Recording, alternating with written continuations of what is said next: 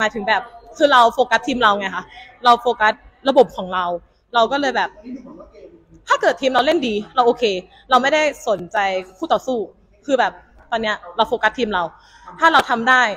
ตามที่โค้ชเขาวางไว้อะค่ะ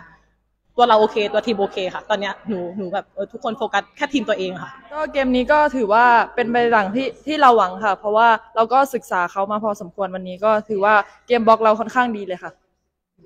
ค่ะก็วันนี้เป็นไปตามที่เราวางแผนมานะคะ เป็นตามเป็นตามที่เราซ้อมซ้อมมาเลยอะค่ะเพราะว่าเราก็ทำการบ้านมาอย่างหนักหน่วงอยู่อยู่เหมือนกันค่ะ เพราะว่า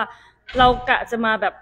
คว้าชัยชนะเลยในวันนี้เลยค่ะ แล้วเราก็ก็ทำได้ตามเป้าหมายที่เราวางไว้ค่ะ